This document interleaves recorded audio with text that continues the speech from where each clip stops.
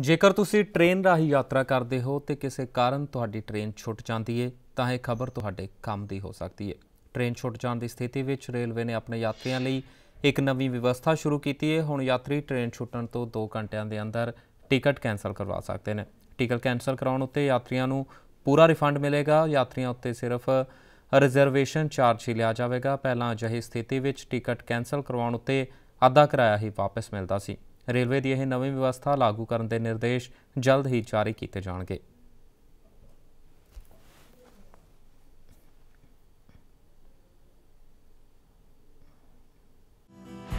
ਖਬਰਾਂ ਦੀ ਦੁਨੀਆ ਵਿੱਚ ਆਓ। ਸਾਡੇ ਨਾਲ ਕਦੇ ਵੀ, ਕਿਤੇ ਵੀ ਜੁੜੋ। ਆਪਾਂ ਮਿਲਾਂਗੇ ਫੇਸਬੁੱਕ ਤੇ। ਅਸੀਂ ਦਿਖਾਂਗੇ YouTube ਤੇ। ਸਾਨੂੰ ਫੋਲੋ ਕਰੋ ਟਵਿੱਟਰ ਤੇ। ਖਬਰਾਂ ਨਾਲ ਜੁੜੇ ਰਹੋ ਦਿਨ ਰਾਤ।